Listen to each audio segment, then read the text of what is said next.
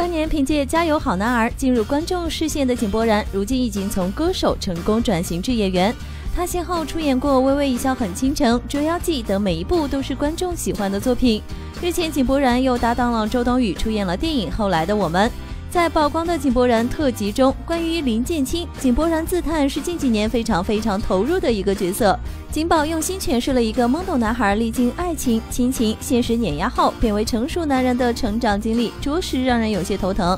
看过电影的网友也发长文点评电影《后来的我们》。井柏然点赞并回复：“谢谢你懂林建清。”要知道的是，自从二零一六年九月二十三日，井柏然在微博中宣布微博再见，至今为止，微博已经将近一年半的时间没有更博了。然而，在看到某位网友为电影《后来的我们》中主角林建清写的评论，井柏然在评论中称：“我必须为你点赞，谢谢你懂林建清。”